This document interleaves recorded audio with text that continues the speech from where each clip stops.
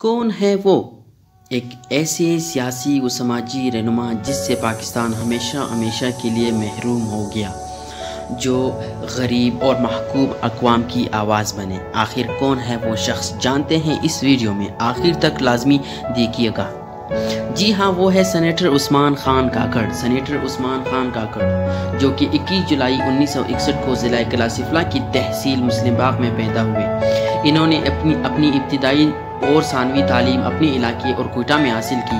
बाद में आला तालीम के लिए कोयटा ला कॉलेज में दाखिला लिया जहाँ से लाला ने उन्नीस सौ सतासी में ला कॉलेज ला कॉलेज से ला की डिग्री हासिल की और आपने मीशत में भी मास्टर्स की। ज़माना तालब इलमी ही से पश्तूनख्वा स्टूडेंट ऑर्गेनाइजेशन के फ़ाल मेंबर रहे। आपने उन्नीस सौ सतासी में पी एस ओ यानी पश्तून स्टूडेंट ऑर्गेनाइजेशन में शामिल हुए और तंजीम के मरकजी अवल सेक्रेटरी सरबरा की हैसियत से काम किया। के बाद पश्तूनख्वा मिली अवामी पार्टी के प्लेटफॉर्म से अमली सियासत शुरू की। उस्मान खान काकड़ ने 2002 में बलूचिस्तान असम्बली की नशत के लिए इंतबात लड़ी लेकिन वो कामयाब कामयाबी हासिल न कर सके Usman Khan Kakar all party democratic movement के सूबाई कन्वीनर और पश्तून नेशनल डेमोक्रेटिक अलायंस के मरकजी कन्वीनिंग कमेटी के रुकन भी रहे। आपने अपनी ईमानदारी और साबित कदमी से पार्टी में एक अहम मकाम हासिल किया।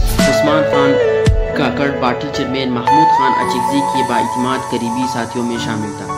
पार्टी के अलावा वो सियासी और कौम परस्त हलकों में साफ़ गो, जेरक और संजीदा सियासतदान के तौर पर जाने जाते थे। वो हमेशा पश्तून, बलोच, लापता अफराद और सिंधियों के हकूक और महकूम पंजाबियों की आवाज़ बने। मार्च 2015 से मार्च 2021 तक सैनट के रुकन भी रहे, जहाँ उस्मान खान काकड़ ने तमाम महकूम अकवाम की हकूक की जंग लड़ी। बिल आखिर उस्मान खान टाकर इस फानी दुनिया से 21 जून 2021 बरोज सोमवार को कोच कर गए